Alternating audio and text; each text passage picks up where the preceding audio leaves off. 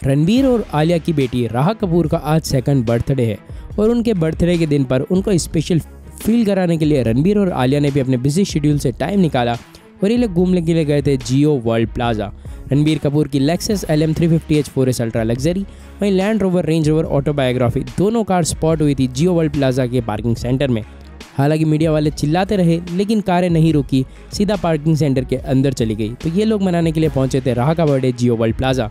वहीं आज birthday celebration के दिन पर बर्थडे पार्टी भी होस्ट करी गई है, जिसमें सबसे पहले नज़र आई करीना कपूर, खान, उनके दोनों बेटे, जय अली खान और तैमूर अली खान के साथ लैंड रोवर डिफेंडर में। इस कार की कीमत है वन करोड़ रुपीज़ वहीं उनके कॉन्वॉय में एक मर्सिडीज एस थ्री नज़र आई थी।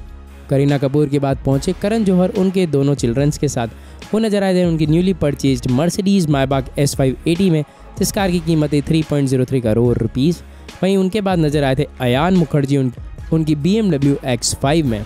जिस कार की कीमत है one point five crore rupees वहीं उसके बाद आलिया भट्ट के पिता महेश भट्ट भी नज़र आए थे उनकी B M W seven series में। सेवन फोर्टी एल आई इस कार का मॉडल है।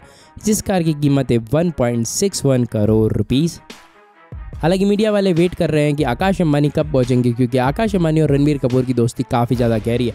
हर प्रोग्राम में आकाश अंबानी ज़रूर नज़र आते हैं तो देखना है कि आज आकाश अंबानी किस कार में एंट्री लेते हैं रणबीर कपूर के हाउस में।